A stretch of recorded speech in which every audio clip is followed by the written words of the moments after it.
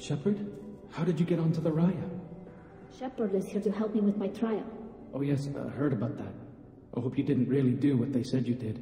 No, Veetor. I would never endanger the fleet.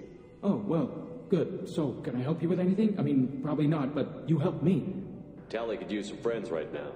Would you be willing to tell the admirals how she helped you? No, I mean, yes, but I already did. They came to see me.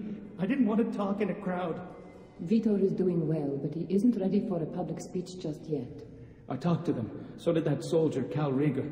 We both told them about how you helped us. I hope it helped. I'm sure it did, Veetor. Thank you. Do you remember anything else about the collectors? Anything at all? Nothing new. I'm sorry. Every time I go back to that place in my mind, I, I, Veetor, come back. It's okay. I want to help, but I can't. I didn't see anything, and what I remember. Don't worry, Veetor. We're going to find the things that did this, and we're going to kill them. Good. Thank you. Take care of yourself, Veetor. Not many could have gone through what you did and come out sane. I know. I didn't. But thank you, Commander. It's only because of your help that I've come this far.